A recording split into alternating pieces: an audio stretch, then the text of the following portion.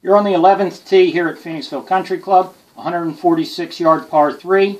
Again, drops down about 60 yards uh, from in elevation change. This green again is very heavily slanted from left to right, front to back.